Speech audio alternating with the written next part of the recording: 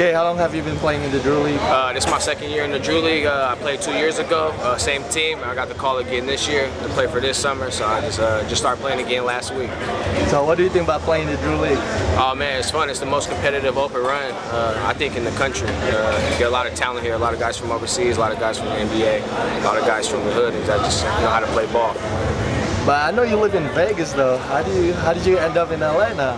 Man, my brother, my brother's out here acting. Uh, so I live in LA with him at the moment. I'm just out here training, uh, and just so happen, you know, to know the right people. And then we're talking about LeBron. LeBron's the hottest topic right now. Do you think LeBron gonna end up in LA? Man, I don't know. I, I would not like to see him go to LA, but it might be the best move. So there's definitely a possibility. And then, Jay, you want to say anything to your fans in Indonesia? Hey, I just want to say what's up, man. I miss Indonesia. I miss all my fans. I just want to uh, thank you for all the support and the love you guys showed me, even when I'm back home. Appreciate it.